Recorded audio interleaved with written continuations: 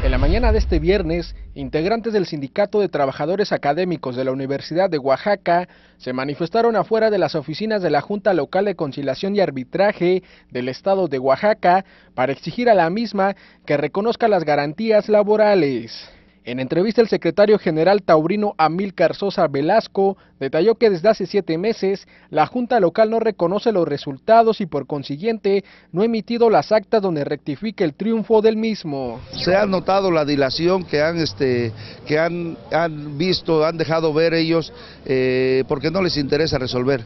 Les interesa que, que los académicos universitarios no tengamos una representación y con ello dejar en la vulnerabilidad eh, precisamente a, a, a 1.200 este, académicos universitarios que hoy en día se están viendo afectados de manera eh, ilegal e irracional por parte de, de los cambios que están este, realizando las autoridades.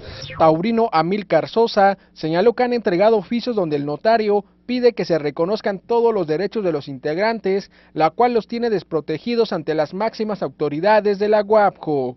El secretario general aseguró que seguirán con estas acciones hasta que se les dé una respuesta favorable, a pesar de que han pedido auditorías con el gobernador del estado, la Secretaría General de Gobierno, la Secretaría de Trabajo y con la misma Junta de Conciliación, de las cuales no han obtenido respuesta. Hemos acudido a todas las instancias, ya estuvimos en la, en la Secretaría del Trabajo, que también vemos que son cascarones, porque si no hay gente que atienda, entonces ¿para qué?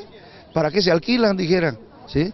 ¿Para qué se alquilan si no pueden estar en sus oficinas, si no pueden responder a las necesidades que, que implican el puesto que tienen? Con imágenes Oswaldo Mijangos informó para MBM Televisión, Irán Sánchez.